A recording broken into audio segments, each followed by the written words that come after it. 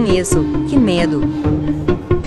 Você vai ver agora o momento em que começou o incêndio no cenário do programa Xuxa Park. As imagens foram registradas por uma das câmeras do Estúdio F. A captação de som ficou prejudicada depois de alguns segundos. Xuxa estava cantando pouco antes do encerramento do programa. Ela nem percebeu quando, ao fundo, fumaça começou a sair da nave e os bombeiros iniciaram o combate ao fogo.